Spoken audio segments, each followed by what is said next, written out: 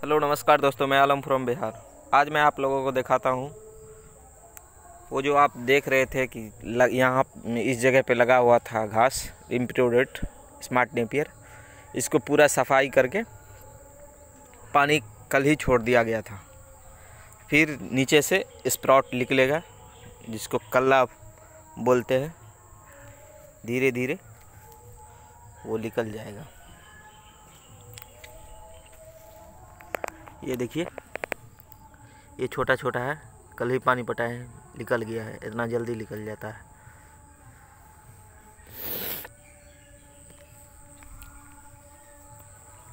ये सारे में पानी पटा दिया गया है, कल ही।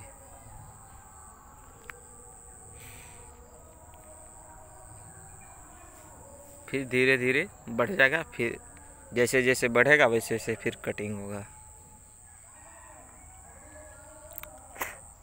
पूरे तरीके से साफ़ कर दिया गया, इधर देख सकते हैं। ये सब जो है, पत्ता जो है, पूरा पुराना वाला पत्ता जो है, ये सबको उधर भी देख सकते उधर। सबको साफ़ करके हटा दिया गया, फिर इस पर पानी छोड़ दिया गया। फिर ये बढ़ जाएगा, फिर ये बढ़ जाएगा, फिर इसकी कटिंग होगी। इसमें खर्चा की कोई बात नहीं है। खर्चा नहीं होता है बार बार इधर देख सकते हैं ये वाला। ये पहले ही कटा हुआ था। अगले वीडियो में भी देख सकते हैं। ये अगले, थोड़ा पानी दिया है तो ये जल्दी ही बढ़ गया है। कल ही पानी दिया है।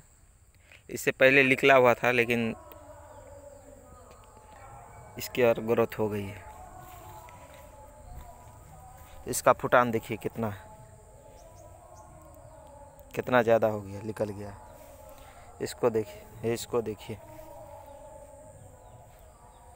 इसको देखिए, इसमें कितना निकला जितना काटोगे, उतना निकलेगा जितना, उतना उतना उभरेगा।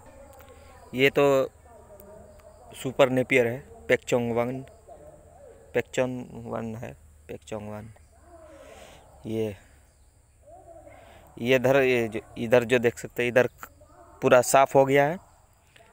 ये उग रहा है। ये हो जाएगा पाँच दस दिन में। ये तैयार हो जाएगा ये। ये पूरा तैयार हो जाएगा। आगे भी चल के उधर एक आगे भी चल के दिखाते हैं। ये इधर, फैजू भाई हमारे, पूरे साफ़ कर दिए इधर। ये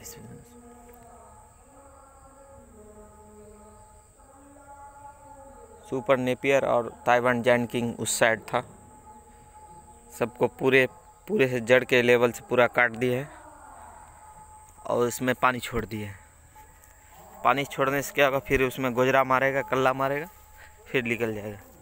पूरे को साफ़ सफ़ाई करके उधर रख दिए वो साइड। वो साइड देख सकते हैं। वो उनको जलावन के काम में आ जाएगा। ये जो है छोटा छोटा खूटी उटी था, सबको काट काट के उस साइड रख दिया। वो सूख जाएगा, उनको जलावन के लिए हो जाएगा।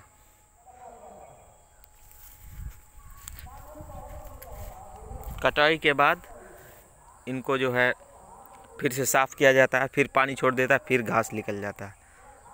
इसमें खर्चा बहुत कम, बहुत ही कम होता है। इधर देखिए, इधर भी पानी कल ही लगाए थे। इधर भी हो गया। इधर डेढ़िया था, इधर कट गया है, फिर इधर उग रहा है। फिर उधर छोटा है। इधर बड़ा है, इधर छोटा है। इधर छोटा है, फिर ये पानी डाले हैं। कुछ दिन के बाद खुद ही खुद ब खुद बड़ा हो जाएगा। इसमें यूरिया उरिया की कोई ज़रूरत नहीं है। कुछ दिन बाद फिर वीडियो बनाएँगे। Thanks for watching